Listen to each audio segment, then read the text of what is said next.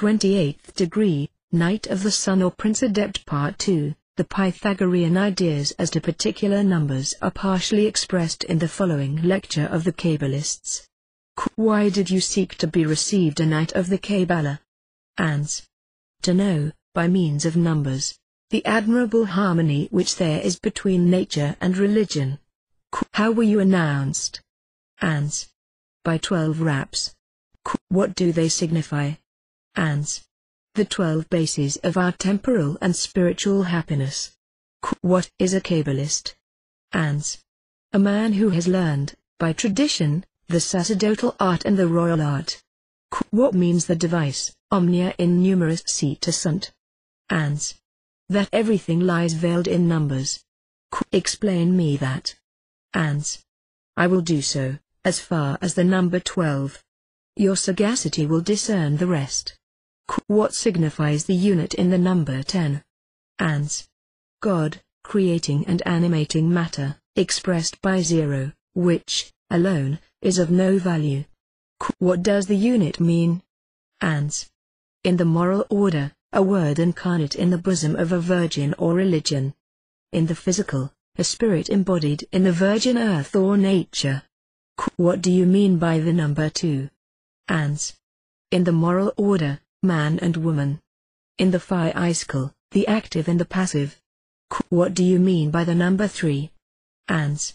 In the moral order, the three theological virtues. In the physical, the three principles of bodies. What do you mean by the number four? Ans. The four cardinal virtues. The four elementary qualities. What do you mean by the number five? Ans. The quintessence of religion. The quintessence of matter. What do you mean by the number six? Ans. The theological cube. The physical cube. What do you mean by the number seven? Ans. The seven sacraments. The seven planets. What do you mean by the number eight? Ans. The small number of Elus. The small number of wise men. What do you mean by the number nine? Ans. The exaltation of religion. The exaltation of matter. What do you mean by the number ten? Ans. The Ten Commandments. The ten precepts of nature. What do you mean by the number 11? Ans. The multiplication of religion. The multiplication of nature. What do you mean by the number 12? Ans. The twelve articles of faith, the twelve apostles, foundation of the holy city, who preached throughout the whole world, for our happiness and spiritual joy. The twelve operations of nature, the twelve signs of the zodiac, foundation of the primum mobile, extending it throughout the universe for our temporal felicity. Com uh, the Rabbi, president of the Sanhedrin, adds, from all that you have said, it results that the unit develops itself in two, is completed in three internally, and so produces four externally, whence, through six, seven, eight, nine, it arrives at five, half of the spherical number ten, to ascend, passing through eleven, to 12, and to raise itself, by the number 4 times 10, to the number 6 times 12, the final term and summit of our eternal happiness. What is the generative number? Ans. In the divinity, it is the unit, in created things, the number 2, because the divinity, 1, engenders 2, and in created things 2 engenders 1. What is the most majestic number? Ans. 3 because it denotes the triple divine essence. What is the most mysterious number? Ans. 4. Because it contains all the mysteries of nature. What is the most occult number? Ans. 5. Because it is enclosed in the center of the series.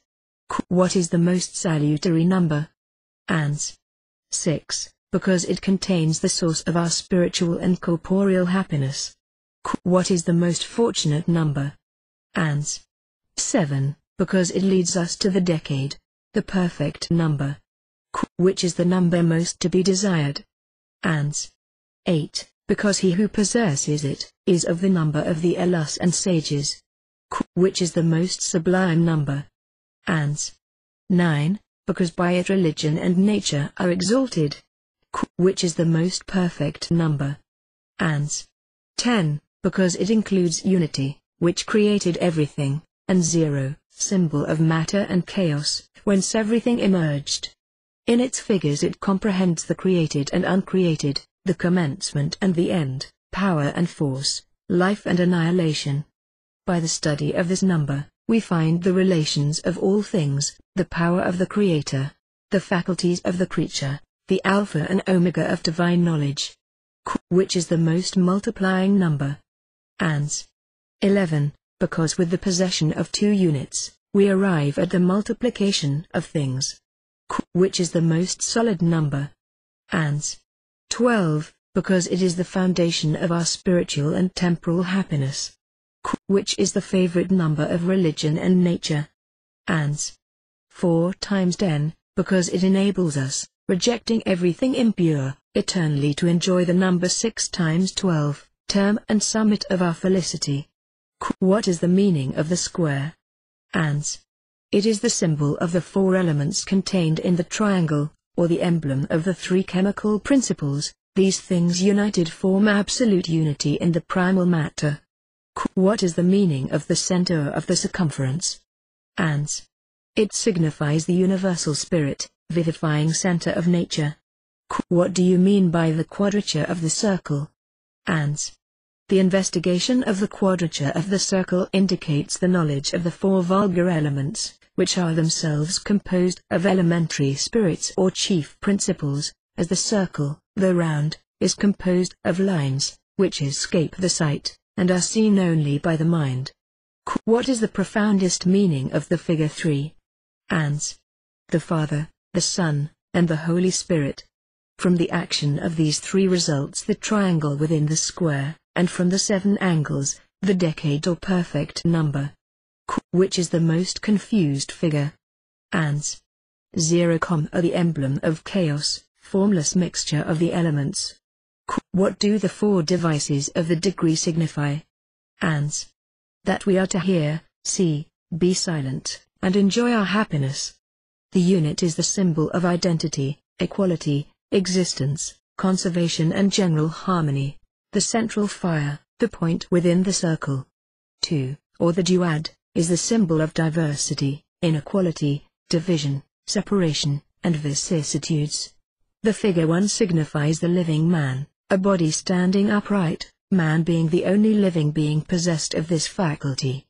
Adding to it a head, we have the letter P, the sign of paternity, creative power, and with a further addition, R, signifying man in motion, going, ens, iturus.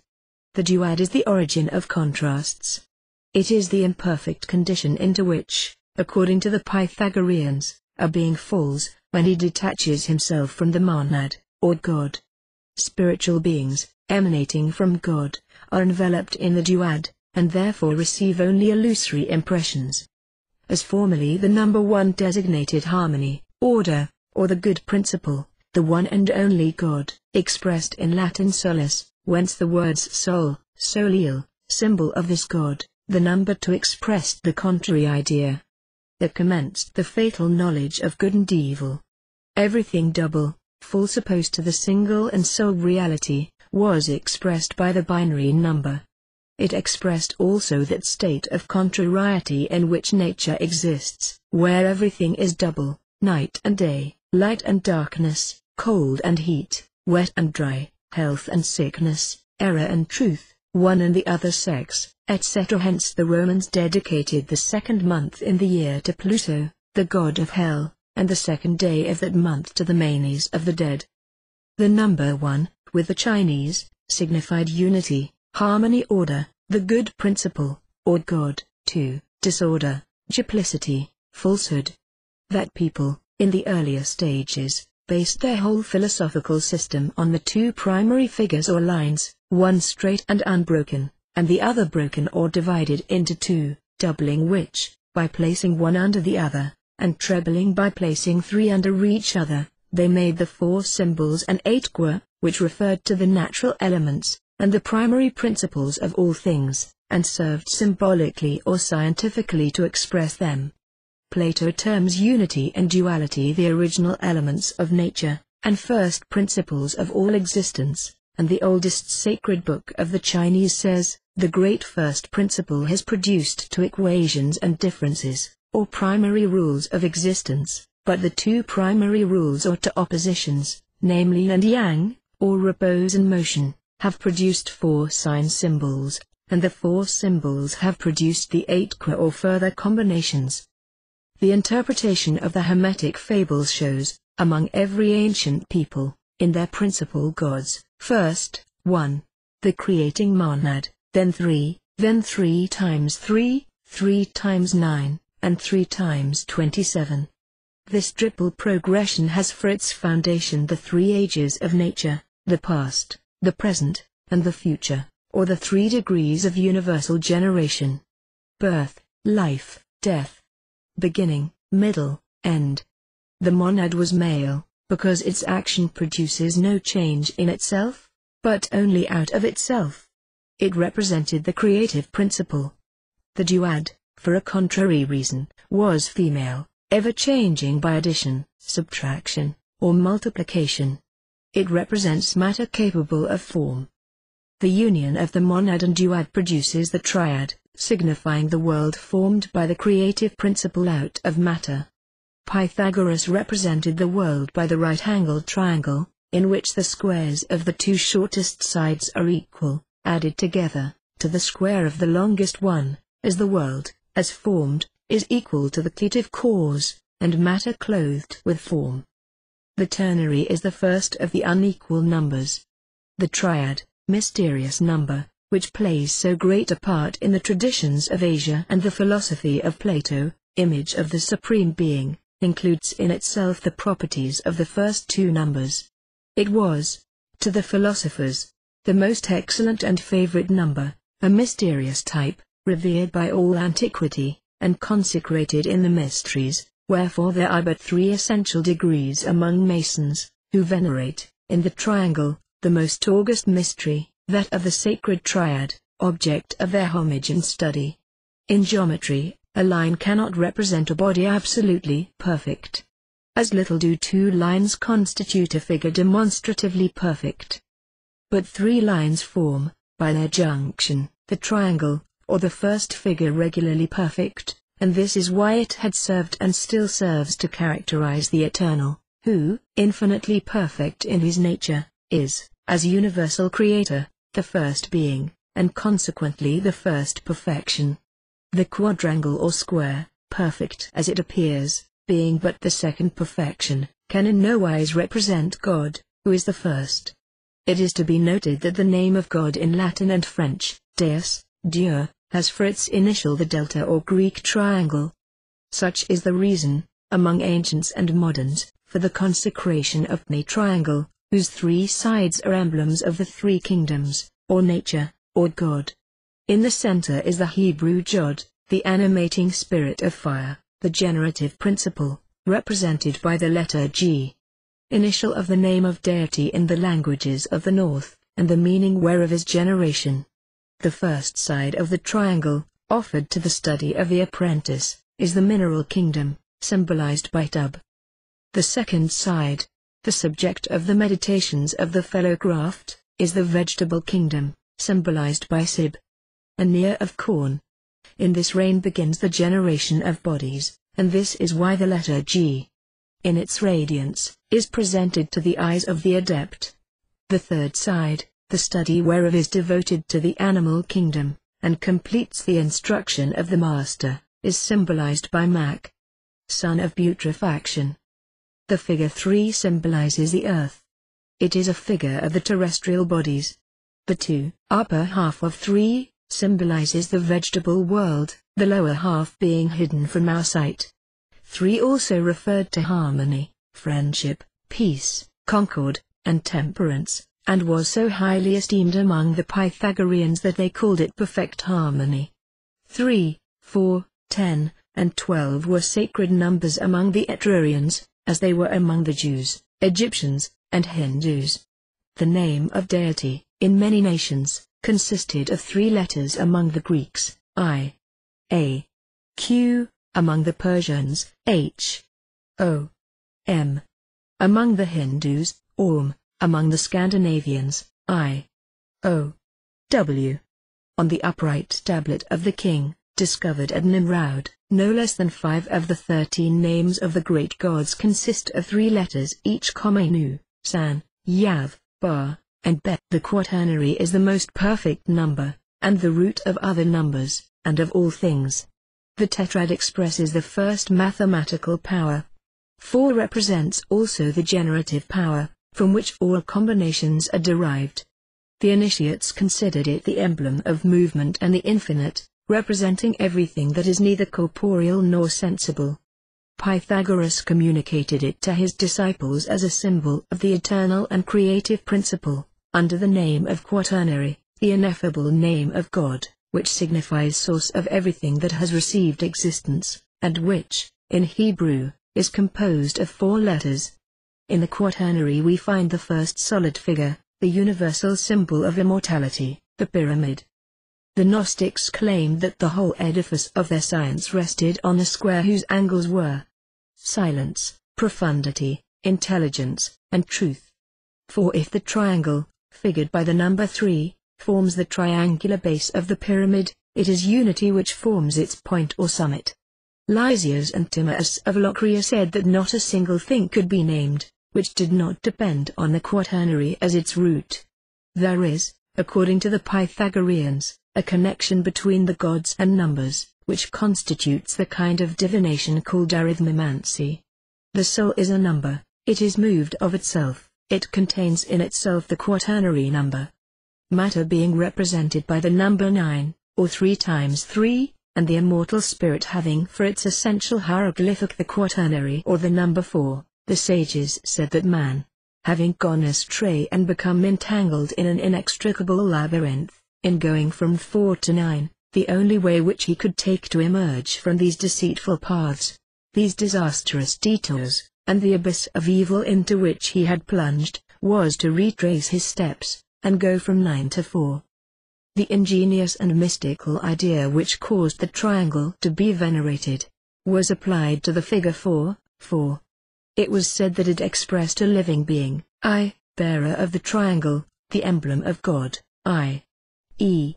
Man bearing with himself a divine principle.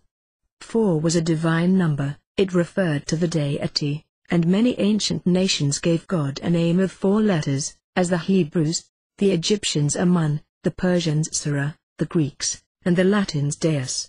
This was the tetragrammaton of the Hebrews, and the Pythagoreans called it tetrax, and swore their most solemn oath by it. So to Odin among the Scandinavians, is among the Greeks, Phta among the Egyptians, Thoth among the Phoenicians, and and Nebo among the Assyrians. The list might be indefinitely extended. The number 5 was considered as mysterious, because it was compounded of the binary, symbol of the false and double, and the ternary, so interesting in its results. It thus energetically expresses the state of imperfection, of order and disorder, of happiness and misfortune, of life and death, which we see upon the earth.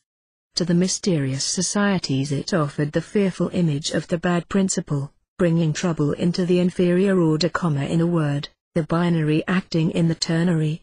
Under another aspect it was the emblem of marriage, because it is composed of two, the first equal number, and of three, the first unequal number.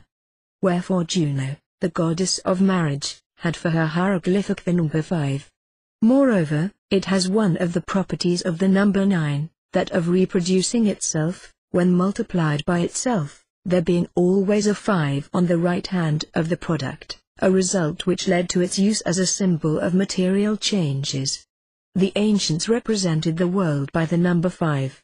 A reason for it, given by Diodorus, is, that it represents earth, water, a fire, and ether or spirit. Thence the origin of 5, and the universe, as the whole. The number 5 designated the universal quintessence, and symbolized, by its form the vital essence, the animating spirit which flows, serpentate, through all nature. In fact, this ingenious figure is the union of the two Greek accents apostrophe, placed over those vowels which ought to be or ought not to be aspirated. The first sign apostrophe bears the name of potent spirit, and signifies the superior spirit, the spirit of God aspirated, spiratus, respired by man. The second sign apostrophe is styled mild spirit, and represents the secondary spirit, the spirit purely human. The triple triangle, a figure of five lines uniting in five points, was among the Pythagoreans an emblem of health. It is the pentalpha of Pythagoras, or pentangle of Solomon, has five lines and five angles, and is, among Masons, the outline or origin of the five-pointed star, and an emblem of fellowship. The number six was, in the ancient mysteries, a striking emblem of nature, as presenting the six dimensions of all bodies, the six lines which make up their form, viz. The four lines of direction, toward the north, south, east, and west, with the two lines of height and depth, responding to the zenith and nadir. The sages applied the senary to the physical man, while the septenary was, for them, the symbol of his immortal spirit.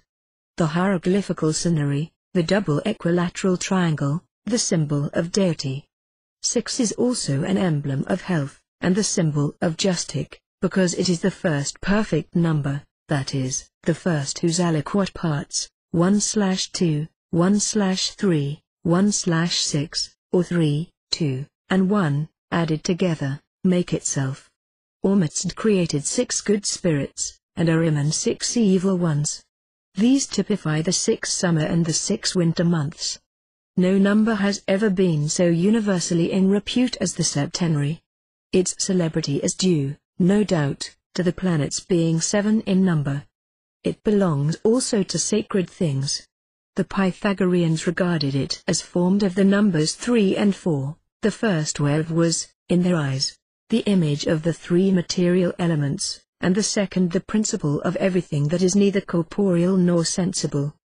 It presented them, from that point of view, the emblem of everything that is perfect. Considered as composed of six and unity, it serves to designate the invisible center or soul of everything, because no body exists, of which six lines do not constitute the form, nor without a seventh interior point, as the center and reality of the body, where the external dimensions give only the appearance. The numerous applications of the septenary confirm the ancient sages in the use of this symbol. Moreover, they exalted the properties of the number seven, as having, in a subordinate manner, the perfection of the unit, for if the unit is uncreated, if no number produces it, the 7 is also not engendered by any number contained in the interval between 1 and 10. The number 4 occupies an arithmetical middle ground between the unit and 7, inasmuch as it is as much over 1, as it is under 7, the difference each way being 3. The number 7, among the Egyptians, symbolized life, and this is why the letter Z of the Greeks was the initial of the verb I live, and Jupiter, father of life. The number 8, or the octary, is composed of the sacred numbers 3 and 5. Of the heavens, of the seven planets, and of the sphere of the fixed stars, or of the eternal unity and the mysterious number 7, is composed the ogdoad. The number 8, the first cube of equal numbers, regarded as sacred in the arithmetical philosophy. The Gnostic ogdoad oh had eight stars, which represented the eight Kabiri of Samothrace, the eight Egyptian and Phoenician principles, the eight gods of Xenocrates, the eight angles of the cubic stone. The number eight symbolizes perfection, and its figure, eight or infinity, indicates the perpetual and regular course of the universe. It is the first cube, 2 times to x2, and signifies friendship, prudence, counsel, and justice. It was a symbol of the primeval law which regarded all men as equal the novary, or triple ternary. If the number three was celebrated among the ancient sages, that of three times three had no less celebrity, because, according to them, each of the three elements which constitute our bodies is ternary, the water containing earth and fire, the earth containing igneous and aqueous particles, and the fire being tempered by globules of water terrestrial corpuscles which serve to feed it no one of the three elements being entirely separated from the others, all material beings composed of these three elements, whereof each is triple, may be designated by the figurative number of 3 times 3, which has become the symbol of all formations of bodies. Hence the name of ninth envelope, given to matter. Every material extension, every circular line, has for representative sign the number 9, among the Pythagoreans, who had observed the property which this number possesses, of reproducing itself incessantly and entire, in every multiplication, thus offering to the mind a very striking emblem of matter which is incessantly composed before our eyes, after having undergone a thousand decompositions. The number 9 was consecrated to the spheres and the muses.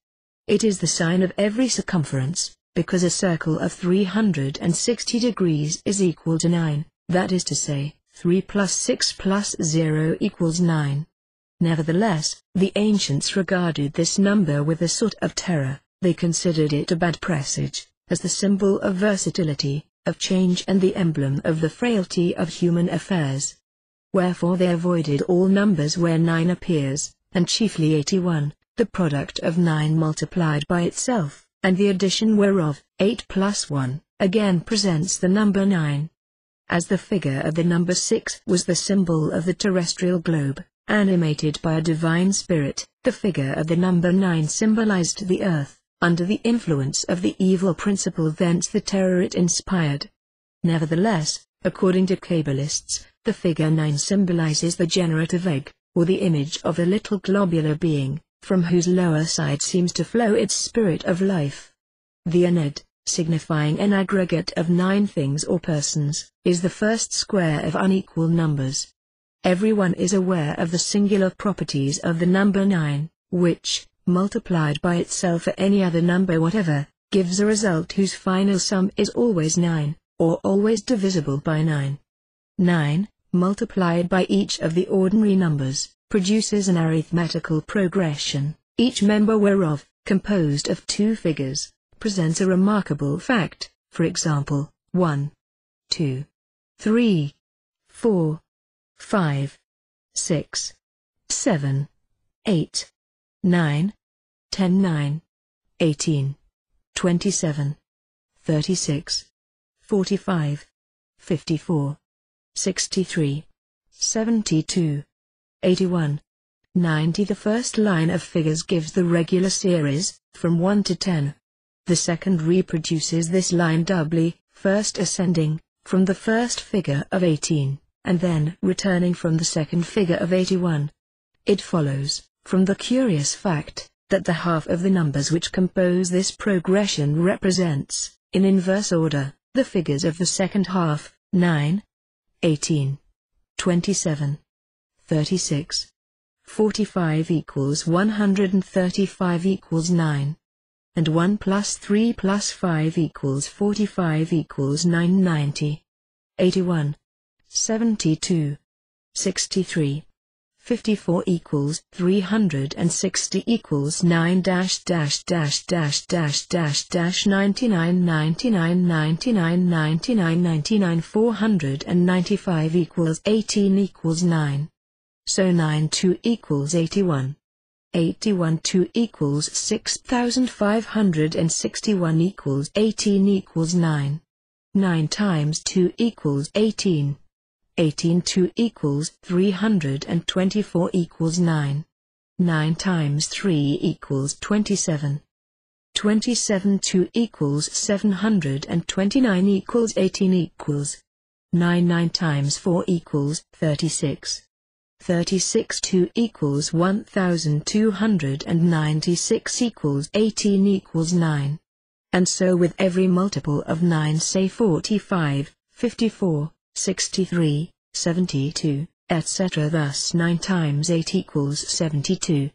72 2 equals 5184 equals 18 equals 9. And further, 1827 36 70 to 1827 36 72 dash dash dash dash 144 equals 9 189 equals 18 equals 9 216 equals 9 144 equals 9 18 equals 9 54 equals 9 108 equals 9 504 equals 9 dash dash dash dash dash dash dash dash dash 3 324 equals 9.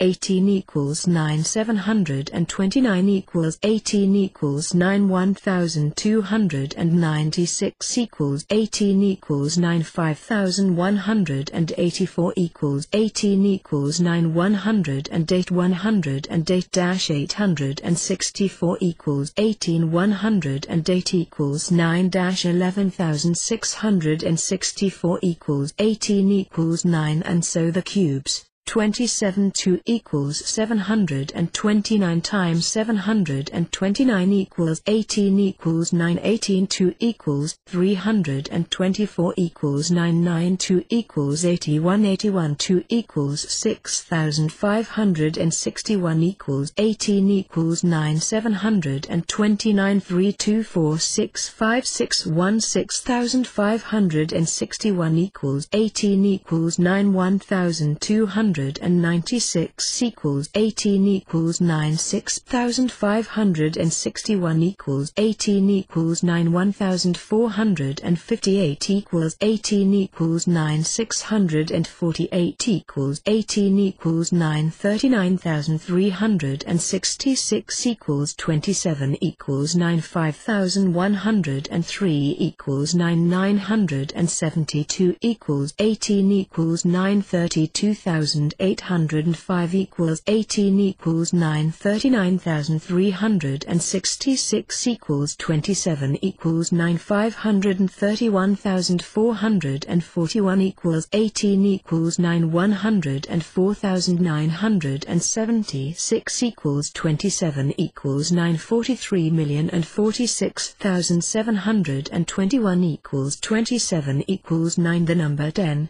or the denary is the measure of everything and reduces multiplied numbers to unity. Containing all the numerical and harmonic relations, and all the properties of numbers which precede it, it concludes the abacus or table Pythagoras. To the mysterious societies, this number typified the assemblage of all the wonders of the universe. They wrote it thus, theta, that is to say, unity in the middle of zero, as the center of a circle, or symbol of deity. They saw in this figure everything that should lead to reflection. The center, the ray, and the circumference, represented to them God, man, and the universe. This number was, among the sages, a sign of concord, love, and peace.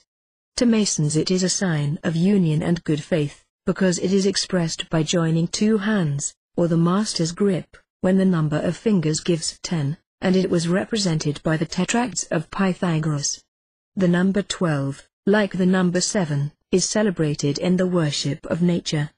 The two most famous divisions of the heavens, that by 7, which is that of the planets, and that by 12, which is that of the signs of the zodiac, are found upon the religious monuments of all the peoples of the ancient world, even to the remote extremes of the East.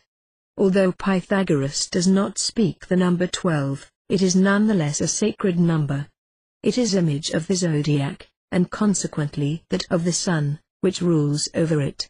Such are the ancient ideas in regard to those numbers which so often appear in Masonry, and rightly understood, as the old sages understood them, they contain many a pregnant lesson.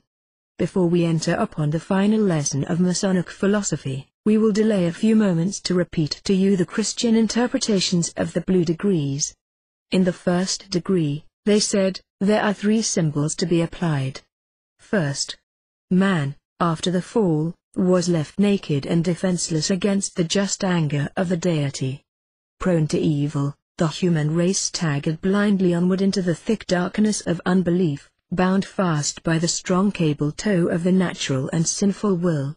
Moral corruption was followed by physical misery. Want and destitution invaded the earth.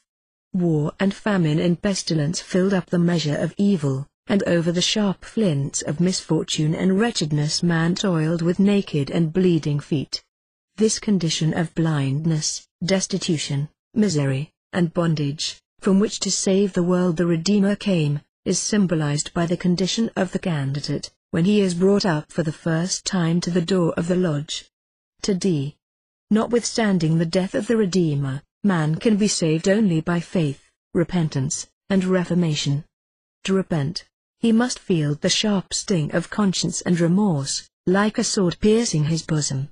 His confidence in his guide, whom he is told to follow and fear no danger, his trust in God, which he is caused to profess, and the point of the sword that is pressed against his naked left breast over the heart, are symbolical of the faith, repentance and reformation necessary to bring him to the light of a life in Christ the crucified. 3d. Having repented and reformed, and bound himself to the service of God by a firm promise and obligation, the light of Christian hope shines down into the darkness of the heart of the humble penitent, and blazes upon his pathway to heaven. And this is symbolized by the candidate's being brought to light, after he is obligated, by the worshipful Master, who in that is a symbol of the Redeemer, and so brings him to light, with the help of the brethren, as he taught the word with the aid of the apostles. In the second degree there are two symbols, fourth, the Christian assumes new duties toward God and his fellows. Toward God, of love, gratitude, and veneration, and an anxious desire to serve and glorify Him, towards his fellows, of kindness, sympathy, and justice. And this assumption of duty this entering upon good works, is symbolized by the fellow craft's obligation, by which, bound as an apprentice to secrecy merely, and set in the northeast corner of the lodge, he descends as a fellow craft into the body of the brethren, and assumes the active duties of a good mason. 5th. The Christian, reconciled to God, sees the world in a new light. This great universe is no longer a mere machine, wound up and set going 6,000 or 60 millions years ago, and left to run on afterward forever, by virtue of a law of mechanics created at the beginning without further care or consideration on the part of the deity, but it has now become to him a great emanation from God, the product of his thought, not a mere dead machine, but a thing of life, over which God watches continually, and every movement of which is immediately produced by his present action, the law of harmony being the essence of the deity, reenacted every instant. And this is symbolized by the imperfect instruction given in the fellow craft's degree, in the sciences, and particularly geometry, connected as the latter is with God himself in the mind of a mason, because the same letter, suspended in the east, represents both, and astronomy, or the knowledge of the laws of motion and harmony that govern the spheres, is but a portion of the wider science of geometry. It is so symbolized, because it is here, in the second degree, that the candidate first receives another than moral instruction, there are also two symbols in the third degree, which, with the three in the first, and two in the second, make the seven. Sixth. The candidate, after passing through the first part of the ceremony, imagines himself a master, and is surprised to be informed that as yet he is not, and that it is uncertain whether he ever will be. He is told of a difficult and dangerous path yet to be traveled, and is advised that upon that journey it depends whether he will become a master. This is symbolical of that which our Saviour said to Nicodemus, that, notwithstanding his morals might be beyond reproach, he could not enter the kingdom of heaven unless he were born again, symbolically dying, and again entering the world regenerate, like a spotless infant. 7th. The murder of Hiram, his burial, and his being raised again by the Master, are symbols, both of the death, burial, and resurrection of the Redeemer, and of the death and burial and sins of the natural man, and his being raised again to a new life, or born again, by the direct action of the Redeemer, after morality, symbolized by the entered apprentice's grip, and philosophy, symbolized by the grip of the fellow craft, had failed to raise him. That of the lion of the house of Judah is the strong grip, never to be broken, with which Christ, of the royal line of that house, has clasped to himself the whole human race, and embraces them in his wide arms as closely and affectionately as brethren embrace each other on the five points of fellowship. As entered apprentices and fellow crafts, Masons are taught to imitate the laudable example of those masons who labored at the building of King Solomon's temple, and to plant firmly and deep in their hearts those foundation stones of principle, truth, justice, temperance, fortitude, prudence, and charity, on which to erect that Christian character which all the storms of misfortune and all the powers and temptations of hell shall not prevail against, those feelings and noble affections which are the most proper homage that can be paid to the grand architect and great father of the universe, and which make the heart a living temple builded to him, when the unruly passions are made to submit to rule and measurement, and their excesses are struck off with the gavel of self-restraint and when every action and every principle is accurately corrected and adjusted by the square of wisdom, the level of humility, and the plumb of justice. The two columns, Jachin and Boaz, are the symbols of that profound faith and implicit trust in God and the Redeemer that are the Christian strength, and of those good works by which alone that faith can be established and made operative and effectual to salvation. The three pillars that support the lodge are symbols of a Christian's hope in a future state of happiness, faith in the promises and the divine character and mission of the Redeemer, and charitable judgment of other men. The three murderers of Qiam symbolize Pontius Pilate, Caiaphas the high priest, and Judas Iscariot, and the three blows given him are the betrayal by the last, the refusal of Roman protection by Pilate, and the condemnation by the high priest. They also symbolize the blow on the ear, the scourging, and the crown of thorns. The twelve fellow crafts sent in search of the body are the twelve disciples, in doubt whether to believe that the Redeemer would rise from the dead. The Master's word, supposed to be lost, symbolizes the Christian faith and religion, supposed to have been crushed and destroyed when the Savior was crucified, after Iscariot had betrayed him, and Peter deserted him, and when the other disciples doubted whether he would arise from the dead, but which rose from his tomb and flowed rapidly over the civilized world, and so that which was supposed to be lost was found. It symbolizes also the Savior himself, the Word that was in the beginning that was with God, and that was God, the Word of life, that was made flesh and dwelt among us, and was supposed to be lost, while he lay in the tomb, for three days and his disciples as yet knew not the scripture that he must rise again from the dead, and doubted when they heard of it, and were amazed and frightened and still doubted when he appeared among them.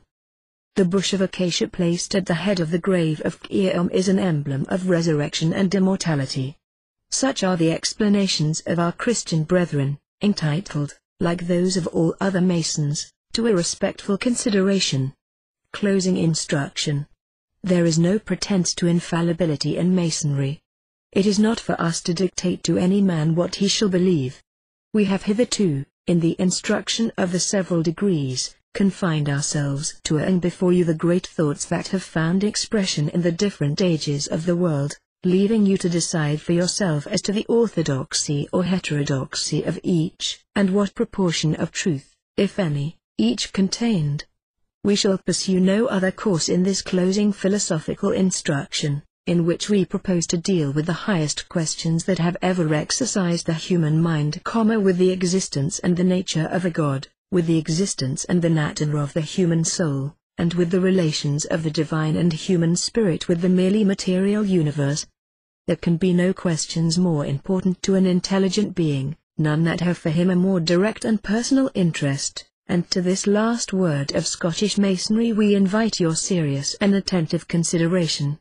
And, as what we shall now say will be but the completion and rounding off of what we have already said in several of the preceding degrees, in regard to the old thought and the ancient philosophies, we hope that you have noted and not forgotten our previous lessons, without which this would seem imperfect and fragmentary. In its idea of rewarding a faithful and intelligent workman by conferring upon him a knowledge of the true word, Masonry has perpetuated a very great truth, because it involves the proposition that the idea which a man forms of God is always the most important element in his speculative theory of the universe, and in his particular practical plan of action for the Church, the State, the community, the family, and his own individual life. It will ever make a vast difference in the conduct of a people in war or peace, whether they believe the supreme God to be a cruel deity, delighting in sacrifice and blood, or a God of love, and an individual's speculative theory as to the mode and extent of God's government, and as to the nature and reality of his own free will and consequent responsibility, will needs have great influence in shaping the course of his life and conversation. We see every day the vast influence of the popular idea of God. All the great historical civilizations of the race have grown out of the national ideas which were formed of God, or have been intimately connected with those ideas. The popular theology, which at first is only an abstract idea in the heads of philosophers, by and by shows itself in the laws, and in the punishments for crime, in the churches, the ceremonies and the sacraments, the festivals and the fasts, the weddings, the baptisms and the funerals, in the hospitals, the colleges, the schools, and all the social charities, in the relations of husband and wife, parent and child, in the daily work and the daily prayer of every man. As the world grows in its development, it necessarily outgrows its ancient ideas of God, which were only temporary and provisional. A man who has a higher conception of God than those about him, and who denies that their conception is God, is very likely to be called an atheist by men who are really far less believers in a God than he. Thus the Christians, who said the heathen idols were no gods, were accounted atheists by the people, and accordingly put to death, and Jesus of Nazareth was crucified as an unbelieving blasphemer, by the Jews. There is a mere formal atheism, which is a denial of God in terms, but not in reality. A man says, there is no God, that is, no God that is self-originated, or that never originated, but always was and had been, who is the cause of existence, who is the mind and the providence of the universe, and so the order, beauty, and harmony of the world of matter and mind do not indicate any plan or purpose of deity. But, he says, nature comma meaning by that the whole sum total of existence comma that is powerful, active, wise, and good, nature is self-originated, or always was and had been, the cause of its own existence, the mind of the universe and the providence of itself. There is obviously a plan and purpose whereby order, beauty, and harmony are brought about, but all that is the plan and purpose of nature. In such cases, the absolute denial of God is only formal and not real. The qualities of God are admitted, and aimed to be real, and it is a mere change of name to call the possessor of those qualities, nature, and not God. The real question is, whether such qualities exist, as we call God, and not, by what particular name we shall designate the qualities. One man may call the sum total of these qualities, nature, another, heaven, a third, universe, a fourth, matter, a fifth, spirit, a sixth, God, Theos, Zeus, Alfadir, Allah, or what he pleases. All admit the existence of the being, power, Orans, thus diversely named. The name is of the smallest consequence. Real atheism is the denial of the existence of any God, of the actuality of all possible ideas of God. It denies that there any mind, intelligence, or ends, that is the cause and providence of the universe, and of anything or any existence, soul, spirit, or being, that intentionally or intelligently produces the order, beauty, and harmony thereof, and the constant and regular modes of operation therein. It must necessarily deny that there is any law, order, or harmony in existence, or any constant mode of operation in the world, for it is utterly impossible for any human creature to conceive however much he may pretend to do so, of either of these, except as a consequence of the action of intelligence, which is, indeed, that otherwise unknown thing, the existence of which these alone prove, otherwise than as the cause of these, not a thing at all, a mere name for the wholly uncognizable cause of these. The real atheist must deny the existence of the qualities of God, deny that there is any mind of awe in the universe, any self-conscious providence, any providence at all. He must deny that there is any being or cause of finite things, that is self-consciously powerful, wise, just, loving, and faithful to itself and its own nature. He must deny that there is any plan in the universe or any part of it. He must hold, either that matter is eternal, or that it originated itself, which is absurd, or that it was originated by an intelligence, or at least by a cause, and then he admits a God. No doubt it is beyond the reach of our faculties to imagine how matter originated, how it began to be, in space where before was nothing, or God only, but it is equally beyond the reach of our faculties to imagine it eternal and unoriginated. To hold it to be eternal, without thought or will, that the specific forms of it, the seed, the rock, the tree, the man, the solar system, all came with no forethought planning or producing them, by chance or the fortuitous concourse of atoms, of matter that has no thought or will, and that they indicate no mind, no plan, no purpose, no providence, is absurd.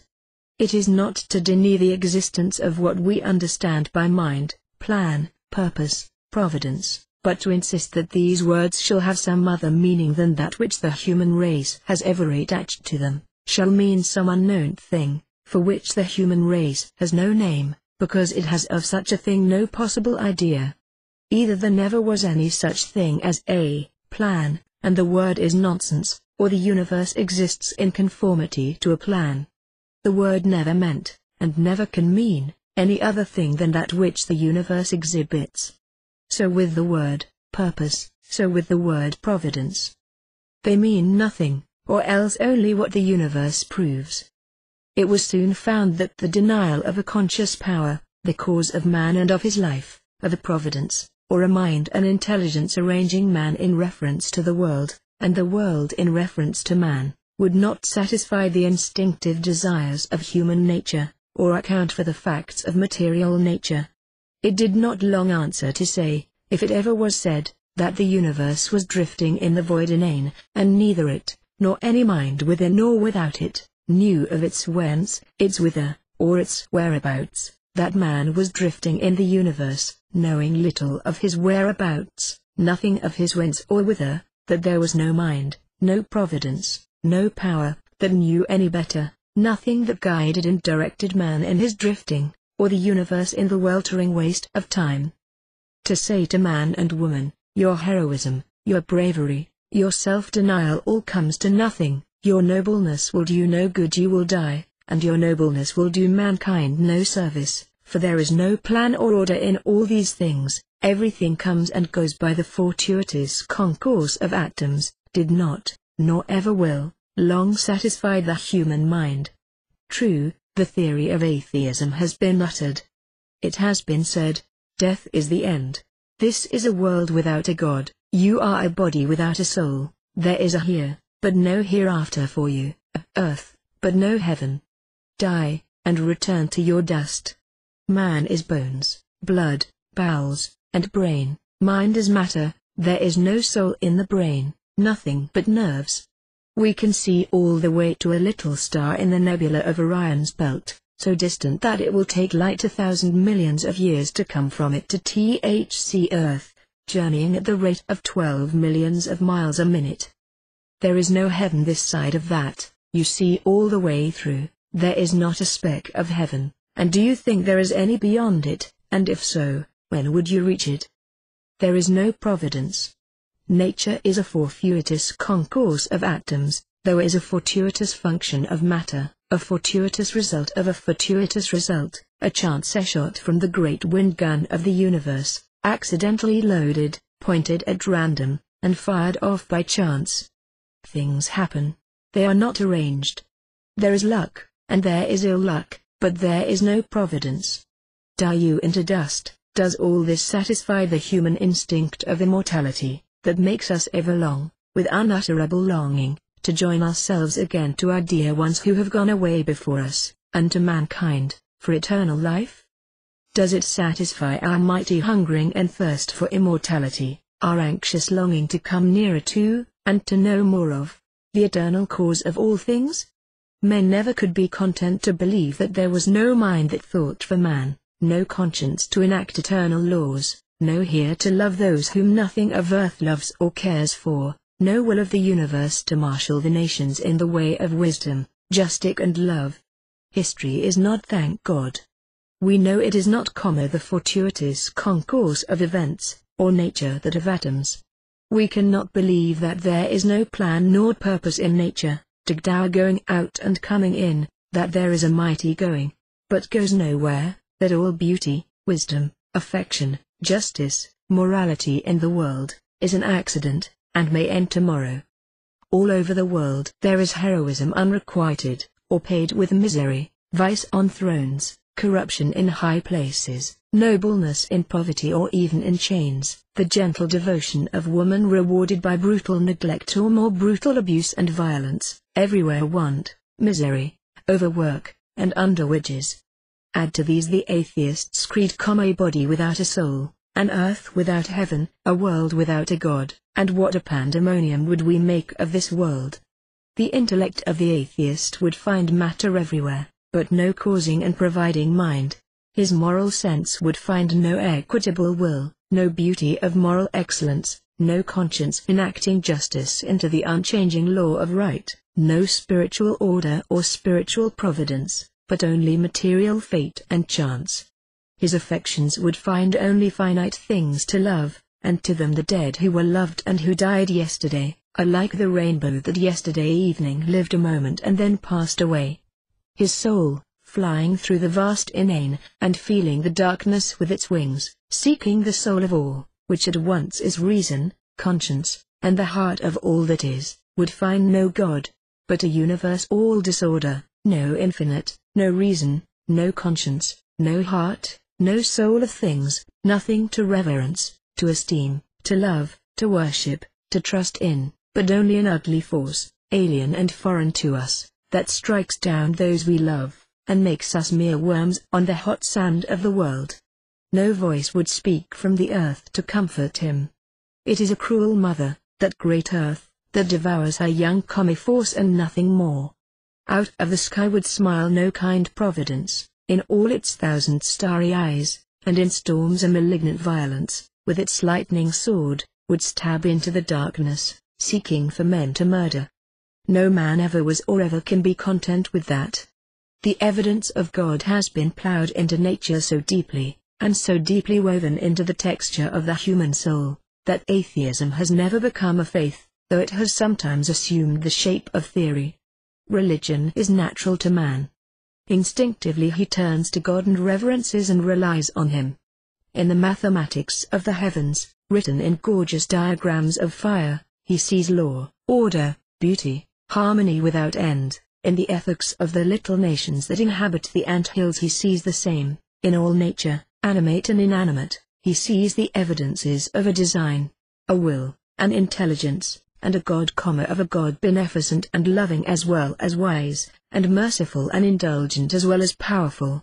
To man, surrounded by the material universe, and conscious of the influence that his material environments exercised upon his fortunes and his present destiny semicolon to man, ever confronted with the splendors of the starry heavens, the regular march of the seasons, the phenomena of sunrise and moonrise, and all evidences of intelligence and design that everywhere press upon and overwhelmed him. All imaginable questions as to the nature and cause of these phenomena constantly recurred, demanding to be solved, and refusing to be sent away unanswered.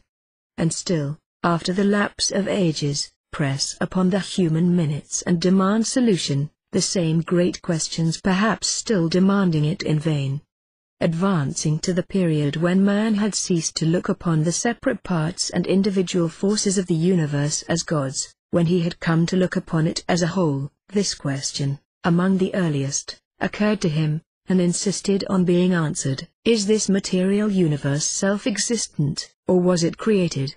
Is it eternal, or did it originate? and then in succession came crowding on the human mind these other questions. Is this material universe a mere aggregate of fortuitous combinations of matter, or is it the result and work of intelligent acting upon a plan? If there be such an intelligence, what and where is it? Is material universe itself an intelligent being? Is it like man, body and a soul? Does nature act upon itself? or is there a cause beyond it that acts upon it? If there is a personal God, separate from the material universe, that created all things, himself uncreated, is he corporeal or incorporeal, material or spiritual, the soul of the universe or wholly apart from it? And if he be spirit, what then is spirit? Was that supreme deity active or quiescent before the creation, and if quiescent during a previous eternity, what necess of his nature moved him at last to create a world, or was it a mere whim that had no motive? Was matter coexistent with him, or absolutely created him out of nothing? Did he create it, or only mold and shape and fashion a chaos already existing, coexistent with himself? Did the deity directly create matter, or was creation the work of inferior deities, emanations from himself? If he be good and just, whence comes it that, foreknowing everything, he has allowed sorrow and evil to exist, and how to reconcile with his benevolence and wisdom the prosperity of vice and the misfortunes of virtue in this world? And then, as to man himself, recurred these other questions, as they continue to recur to all of us, what is it in us that thinks, is thought the mere result of material organization, or is there in us a soul that thinks, separate from and resident in the body? If the latter, is it eternal and uncreated, and if not, how created? Is it distinct from God, or an emanation from Him? Is it inherently immortal, or only so by destination, because God has willed it? Is it to return to and be merged in Him, or ever to exist, separately from Him? With its present identity? If God has foreseen and forearranged all that occurs, how has man any real free will, or the least control over circumstances? How can anything be done against the will of infinite omnipotence, and if all is done according to that will, how is there any wrong or evil, in what infinite wisdom and infinite power does not choose to prevent? What is the foundation of the moral law? Did God enact it of his own mere pleasure, and if so, can he not, when he pleases, repeal it? Who shall assure us he will not repeal it, and make right wrong, and virtue vice? Or is the moral law a necessity of his nature, and if so, who enacted it, and does not that assert a power, like the old necessity, superior to deity? And, close following after these, came the great question of hereafter, of another life, of the soul's destiny, and the thousand other collateral and subordinate questions, as to matter, spirit, futurity, and God, that have produced all the systems of philosophy, all metaphysics, and all theology, since the world began. What the old philosophic mind thought upon these great questions, we have already, to some extent, developed. With the emanation doctrine of the Gnostics and the Orient, we have endeavored to make you familiar, we have brought you face to face with the Kabbalists, the Essenes, and Philo the Jew. We have shown that, and how, much of the old mythology was derived from the daily and yearly recurring phenomena of the heavens.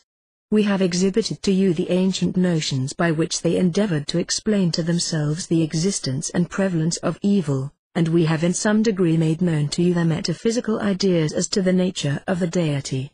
Much more remains to be done than it is within our power to do. We stand upon the sounding shore of the great ocean of time. In front of us stretches out the heaving waste of the illimitable past, and its waves, as they roll up to our feet along the sparkling slope of the yellow sands, bring to us, and W and then, from the depths of that boundless ocean, a shell, a few specimens of algae torn rudely from their stems, a rounded pebble, and that is all, of all the vast treasures of ancient thought that lie buried there, with the mighty anthem of the boundless ocean thundering over them forever and forever. Let us once more, and for the last time, along the shore of that great ocean, gather a few more relics of the past, and listen to its mighty voices, as they come, in fragmentary music, in broken and interrupted rhythm, whispering to us from the great bosom of the past. Rites, creeds, and legends express, directly or symbolically, some leading idea, according to which the mysteries of being are supposed to be explained in deity. The intricacies of mythical genealogies are a practical acknowledgement of the mysterious nature of the omnipotent deity, displaying in their beautiful but ineffectual imagery the first efforts of the mind to communicate with nature, the flowers which fancy strewed before the youthful steps of Psyche, when she first set out in pursuit of the immortal object of her love. Theories and notions, in all their varieties of truth and falsehood, are a machinery more or less efficacious, directed to the same end.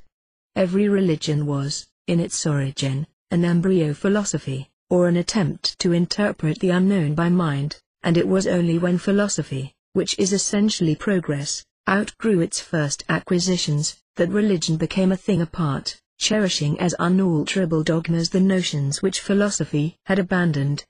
Separated from philosophy, it became arrogant and fantastical, professing to have already attained what its more authentic representative was ever pursuing in vain, and discovering, through its initiations and mysteries, all that to its contracted view seemed wanting to restore the well-being of mankind, the means of purification and expiation, remedies for disease, expedients to cure the disorders of the soul, and to propitiate the gods. Why should we attempt to confine the idea of the Supreme Mind within an arbitrary barrier, or exclude from the limits of veracity any conception of the deity, which, if imperfect and inadequate, may be only a little more so than our own? The name of God, says Hobbes, is used not to make us conceive him, or he is inconceivable, but that we may honor him, believe in God, and adore him, said the Greek poet, but investigate him not the inquiry is fruitless, seek not to discover who God is, for, by the desire to know, you offend him who chooses to remain unknown. When we attempt, says Philo, to investigate the essence of the absolute being, we fall into an abyss of perplexity, and the only benefit to be derived from such researches is the conviction of their absurdity. Yet man, though ignorant of the constitution of the dust on which he treads, has ventured, and still ventures, to speculate on the nature of God, and to define dogmatically and creeds the subject least within the compass of his faculties, and even to hate and persecute those who will not accept his views as true. But though a knowledge of the divine essence is impossible, the conceptions formed respecting it are interesting, as indications of intellectual development. The history of religion is the history of the human mind and the conception formed by it of deity is always in exact relation to its moral and intellectual attainments. The one is the index and the measure of the other. The negative notion of God, which consists in abstracting the inferior and finite, is, according to Philo, the only way in which it is possible for man worthily to apprehend the nature of God. After exhausting the varieties of symbolism, we contrast the divine greatness with human littleness and employ expressions apparently affirmative, such as infinite, almighty, all-wise, omnipotent, eternal, and the like, which in reality amount only to denying, in regard to God, those limits which confine the faculties of man, and thus we remain content with a name which is a mere conventional sign and confession of our ignorance. The Hebrew and the Greek too on expressed abstract existence, without outward manifestation or development. Of the same nature are the definitions, God is a sphere whose center is everywhere, and whose circumference nowhere, God is he who sees all, himself unseen, and finally, that of Proclus and Hegel, the two, that which has no outward and positive existence. Most of the so-called ideas or definitions of the absolute are only a collection of negations, from which, as they affirm nothing, nothing is learned. God was first recognized in the heavenly bodies and in the elements. When man's consciousness of his own intellectuality was matured, and he became convinced that the internal faculty of thought was something more subtle than even the most subtle elements, he transferred that new conception to the object of his worship, and deified a mental principle instead of a physical one. He in every case makes God after his own image, for do what we will, the highest efforts of human thought can conceive nothing higher than the supremacy of intellect, and so he ever comes back to some familiar type of exalted humanity. He at first deifies nature, and afterward himself. The eternal aspiration of the religious sentiment in man is to become united with God. In his earliest development, the wish and its fulfillment were simultaneous, through unquestioning belief. In proportion as the conception of deity was exalted, the notion of his terrestrial presence or proximity was abandoned and the difficulty of comprehending the divine government, together with the glaring superstitious evils arising out of its misinterpretation, endangered the belief in it altogether. Even the lights of heaven, which, as bright potentates of the sky, were formerly the vigilant directors of the economy of earth now shine dim and distant, and real no more descents upon a sunbeam, but the real change has been in the progressive ascent of man's own faculties, and not in the divine nature, as the stars are no more distant now than when they were supposed to rest on the shoulders of Atlas. And yet a little sense of disappointment and humiliation attended the first awakening of the soul, when reason, looking upward toward the deity, was impressed with a dizzy sense of having fallen. But hope revives in despondency, and every nation that ever advanced beyond the most elementary conceptions, felt the necessity of an attempt to fill the chasm, real or imaginary, separating man from God. To do this was the great task of poetry, philosophy, and religion.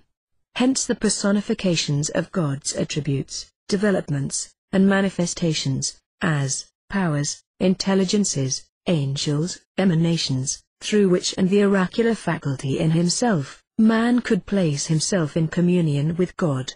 The various ranks and orders of mythical beings imagined by Persians, Indians, Egyptians, or Etrurians, to preside over the various departments of nature, had each his share in a scheme to bring man into closer approximation to the deity. They eventually gave way only before an analogous though less picturesque symbolism and the deities and demons of Greece and Rome were perpetuated with only a change of names, when their offices were transferred to saints and martyrs.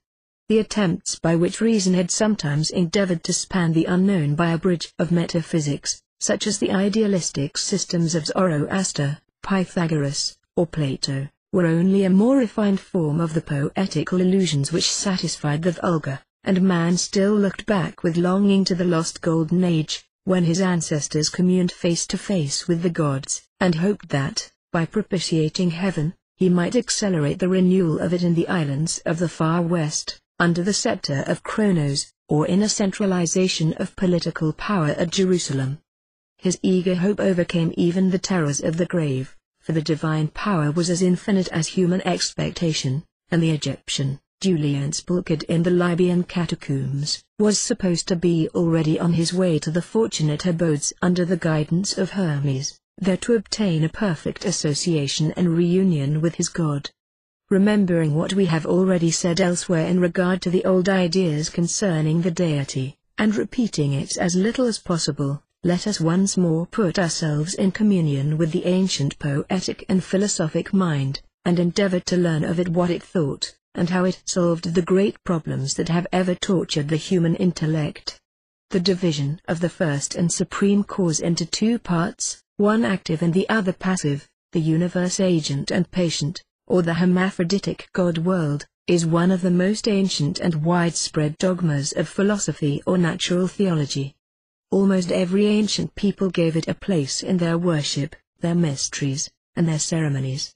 Ocellus Lucanus, who seems to have lived shortly after Pythagoras opened his school in Italy, five or six hundred years before our era, and in the time of Solon, Thales, and the other sages who had studied in the schools of Egypt, not only recognizes the eternity of the universe, and its divine character as an unproduced and indestructible being, but also the distinction of active and passive causes in what he terms the grand whole, or the single hermaphroditic being that comprehends all existences, as well causes as effects, and which is a system regularly ordered, perfect and complete, of all natures.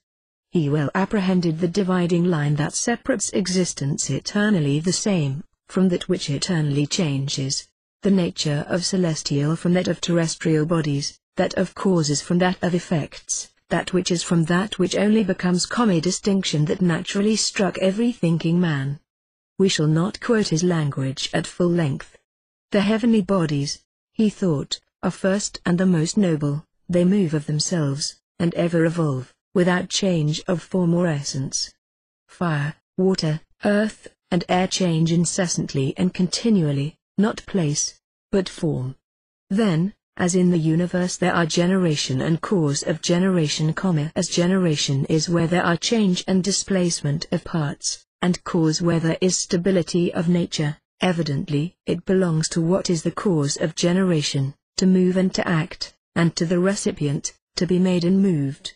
In his view, everything above the moon was the habitation of the gods, all below, that of nature and discord. This operates dissolution of things made, that, production of those that are being made.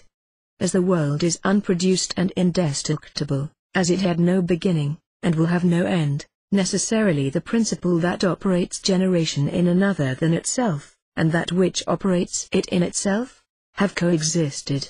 The former is all above the moon, and especially the sun, the latter is the sublunary world. Of these two parts, one active, the other passive one divine and always the same, the other mortal and ever-changing, all that we call the world or universe is composed. These accorded with the principles of the Egyptian philosophy, which held that man and the animals had always existed together with the world, that they were its effects, eternal like itself. The chief divisions of nature into active and passive causes, its system of generation and destruction, and the concurrence of the two great principles, heaven and earth, uniting to form all things, will, according to Ocellus, always continue to exist, enough. He concludes, as to the universe, the generations and destructions effected in it, the mode in which it now exists, the mode in which it will ever exist, by the eternal qualities of the two principles, one always moving, the other always moved, one always governing, the other always governed. Such is a brief summary of the doctrine of this philosopher, whose work is one of the most ancient that has survived to us. The subject on which he treated occupied in his time all men's minds, the poets sang of cosmogonies and theogonies, and the philosophers wrote treatises on the birth of the world and the elements of its composition.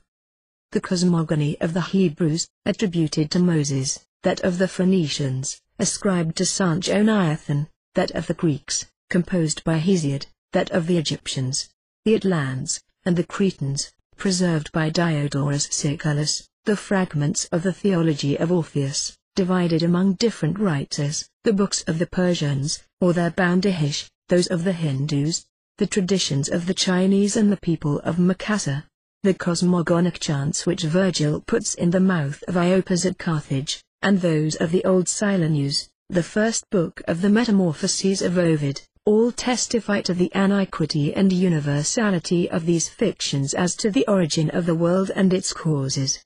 At the head of the causes of nature, heaven and earth were laced, and the most apparent parts of each, the sun, the moon, the fixed stars and planets, and, above all, the zodiac, among the active causes of generation, and among the passive, the several elements, these causes were not only classed in the progressive order of their energy, heaven and earth heading the respective lists, but distinct sexes were in some sort assigned to them, and characteristics analogous to the mode in which they concur in universal generation.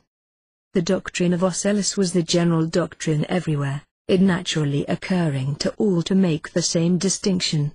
The Egyptians did so, in selecting those animals in which they recognized these emblematic qualities, in order to symbolize the double sex of the universe. Their god Kneph, out of whose mouth issued the Orphic egg, whence the author of the Clementine recognitions makes a hermaphroditic figure to emerge, uniting in itself the two principles whereof heaven and the earth are forms, and which enter into the organization of all beings which the heavens and the earth engender by their concourse, furnishes another emblem of the double power, active and passive, which the ancients saw in the universe, and which they symbolized by the egg. Orpheus, who studied in Egypt, borrowed from the theologians of that country the mysterious forms under which the science of nature was veiled, and carried into Greece the symbolic egg, with its division into two parts or causes figured by the hermaphroditic being that issued from it, and whereof heaven and earth are composed.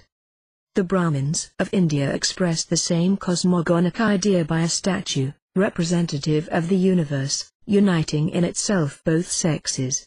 The male sex offered an image of the sun, center of the active principle, and the female sex that of the moon, at the sphere whereof, proceeding downward, the passive portion of nature begins. The lingam, unto the present day revered in the Indian temples, being but the conjunction of the organs of generation of the two sexes, was an emblem of the same. The Hindus have ever had the greatest veneration for this symbol of ever reproductive nature. The Greeks consecrated the same symbols of universal fruitfulness in their mysteries, and they were exhibited in the sanctuaries of Eleusis. They appear among the sculptured ornaments of all the Indian temples, Tertullian accuses the Valentinians of having adopted the custom of venerating them, a custom, he says, introduced by Melampus from Egypt into Greece. The Egyptians consecrated the phallus in the mysteries of Osiris and Isis, as we learn from Plutarch and Diodorus Siculus, and the latter assures us that these emblems were not consecrated by the Egyptians alone, but by every people. They certainly were so among the Persians and Assyrians, and they were regarded everywhere as symbolic of the generative and productive powers of all animated beings. In those early ages, the works of nature and all her agents were sacred like herself. For the union of nature with herself is a chaste marriage, of which the union of man and woman was a natural image. All their organs were an expressive emblem of the double energy which manifests itself in heaven and earth uniting together to produce all beings, the heavens, says Plutarch, seem to men to fulfill the functions of father, and the earth of mother. The former impregnated the earth with its fertilizing rains, and the earth, receiving them, became fruitful and brought forth. Heaven, which covers and embraces the earth everywhere, is her potent spouse, uniting himself to her to make her fruitful, without which she would languish in everlasting sterility, buried in the shades of chaos and of night. Their union is their marriage their productions or parts are their children. The skies are our father, and nature the great mother of us all. This idea was not the dogma of a single sect, but the general opinion of all the sages. Nature was divided, says Cicero, into two parts, one active, and the other that submitted itself to this action, which it received, and which modified it. The former was deemed to be a force, and the latter the material on which that force exerted itself. Macrobius repeated almost literally the doctrine of Ocellus. Aristotle termed the earth a fruitful mother, environed on all sides by the air. Above it was heaven, the dwelling place of the gods and the divine stars, its substance ether, or a fire incessantly moving in circles, divine and incorruptible, and subject to no change. Below it, nature, and the elements, mutable and acted on, corruptible and mortal. Cinzius said that generations were affected in the portions of the universe which we inhabit, while the cause of generations resided in the portions above us, whence descend to us the germs of the effects produced here below. Proclus and Simplicius deemed heaven the active cause and father, relatively to the earth. The former says that the world or the whole is a single animal, what is done in it, is done by it, the same world acts, and acts upon itself. He divides it into heaven and generation. In the former, he says, are placed and arranged the conservative causes of generation, superintended by the genii and gods. The earth, or Rhea, associated ever with Saturn in production, is mother of the effects of which heaven is father, the womb or bosom that receives the fertilizing energy of the god that engenders ages. The great work of generation is operated, he says, primarily by the action of the sun, and secondarily by that of the moon, so that the sun is the primitive source of this energy, as father and chief of the male gods that form his court. He follows the action of the male and female principles through all the portions and divisions of nature, attributing to the former the origin of stability and identity, to the latter, that of diversity and mobility. Heaven is to the earth, he says, as the male to the female.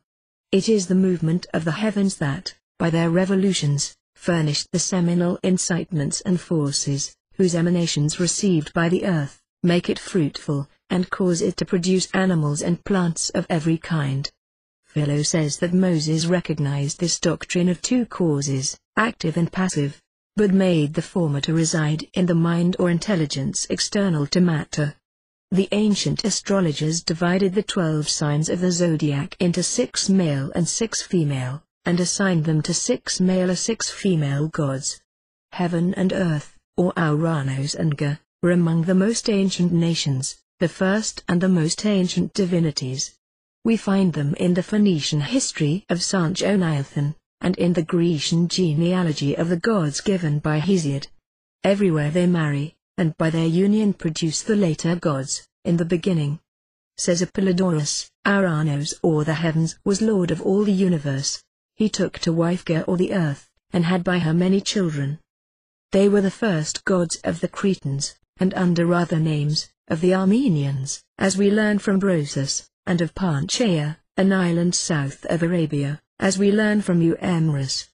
Orpheus made the divinity or the great whole, male and female, because, he said, it could produce nothing, unless it united in itself the productive force of both sexes. He called heaven Pangenitor, the father of all things, most ancient of beings, beginning and end of all, containing in himself the incorruptible and unwearying force of necessity. The same idea obtained in the rude north of Europe. The Scythians made the earth to be the wife of Jupiter, and the Germans adored her under the name of Hertha. The Celts worshipped the heavens and the earth, and said that without the former the latter would be sterile, and that their marriage produced all things. The Scandinavians acknowledged Bor or the heavens, and gave Ferta, his son, the earth, as his wife. Olaus Rudbeck adds, that their ancestors were persuaded that heaven intermarried with the earth, and thus uniting his forces with hers, produced animals and plants. This marriage of heaven and earth produced the Asses, genii famous in the theology of the North.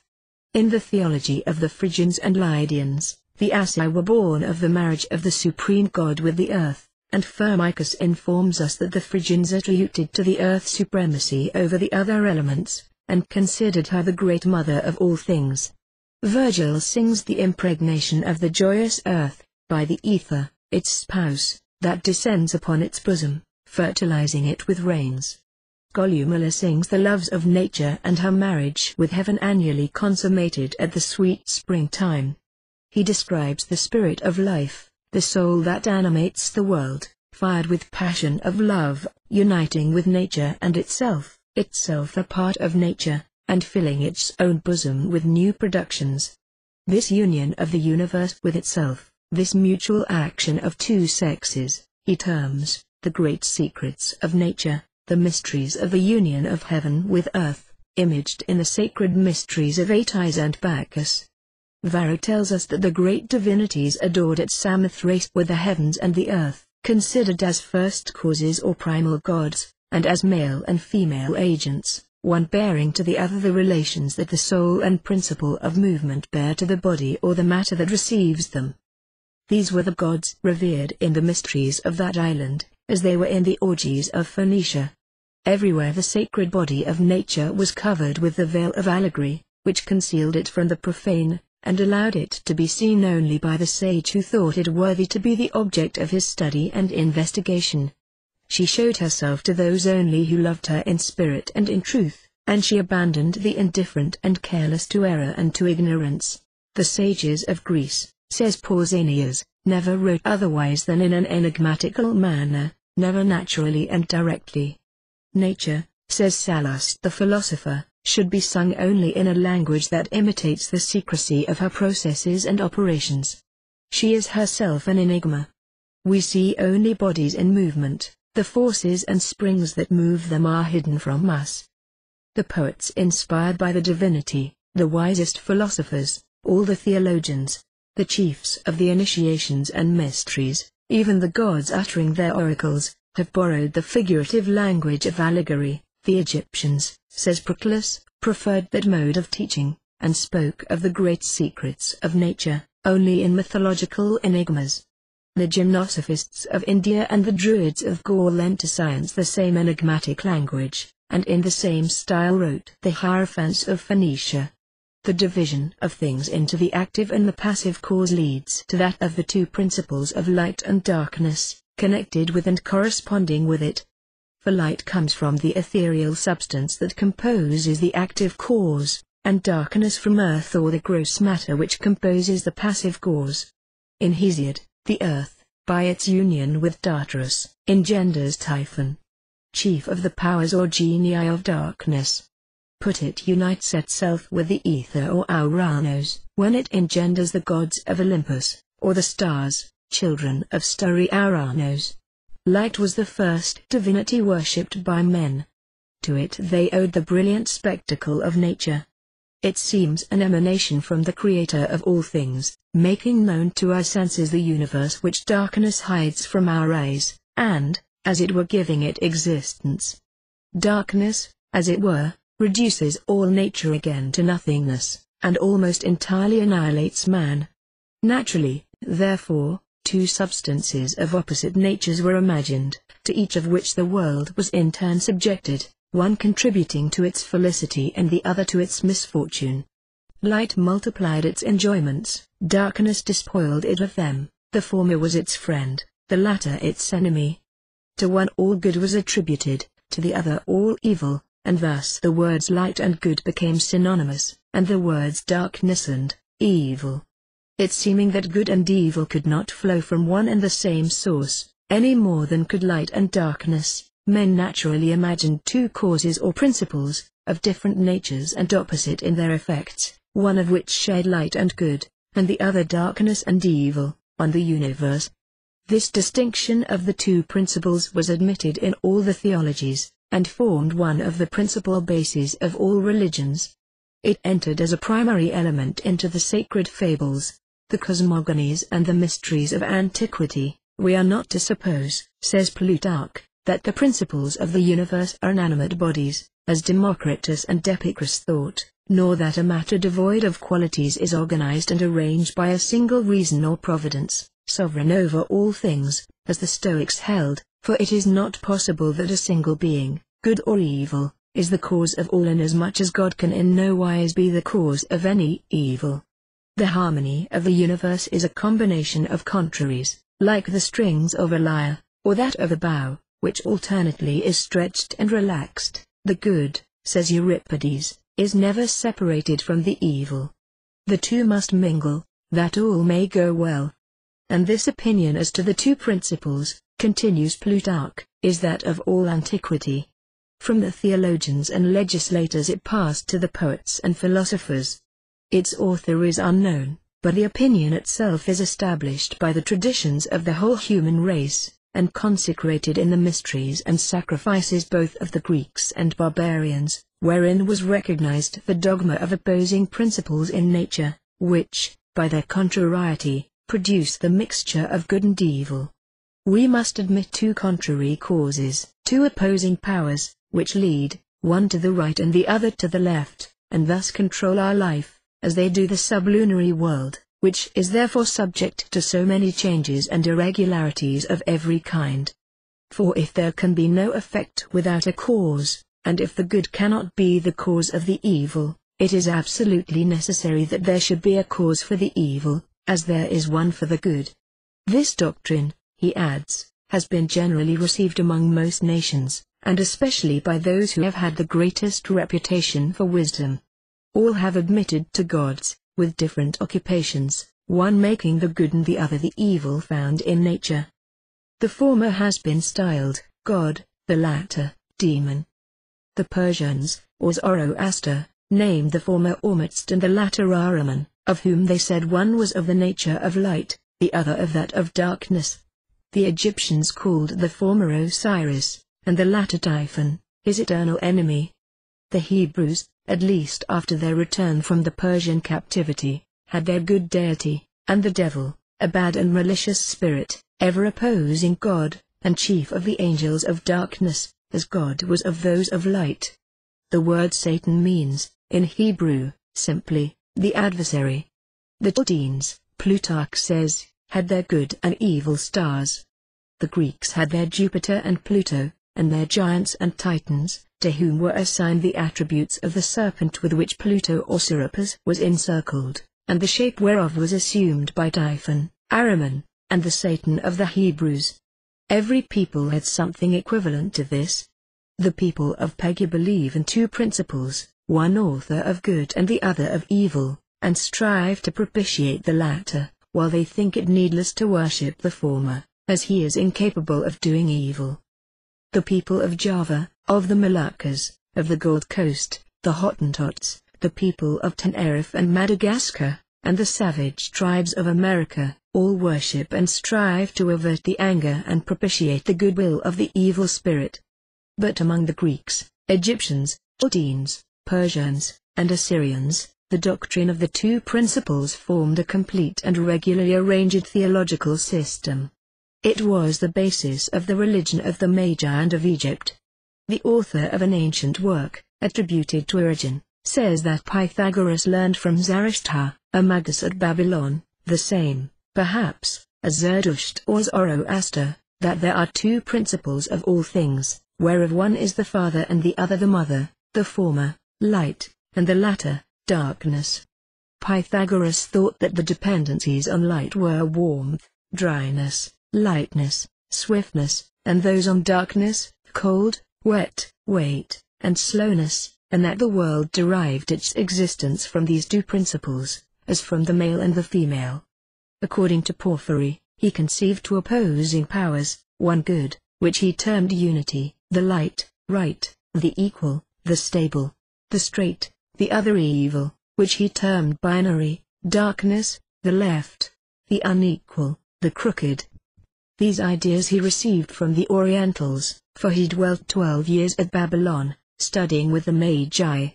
Varro says he recognized two principles of all things, the finite and the infinite, good and evil, life and death, day and night. White he thought was of the nature of the good principle, and black of that of the evil, that light and darkness, heat and cold, the dry and the wet, mingled in equal proportions, that summer was the triumph of heat, and winter of cold, that their equal combination produced spring and autumn, the former producing verdure and favorable to health, and the